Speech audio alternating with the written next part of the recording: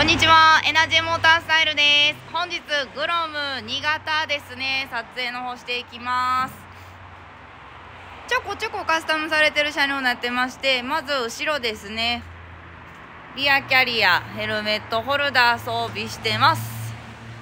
でサスペンション竹川さんのものに交換してあり、えー、マフラーが森脇さんのマフラー入っております。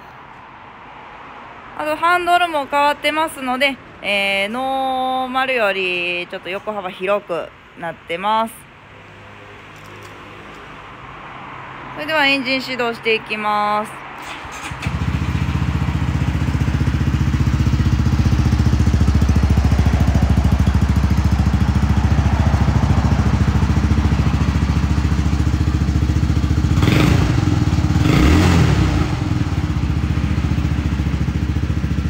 なかなかいい音します。で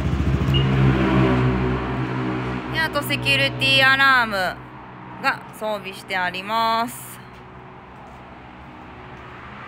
でシートですね、えー、中にスポンジ詰められてまして表示よりちょっと高くなってます。はいよかったらご検討お願いします。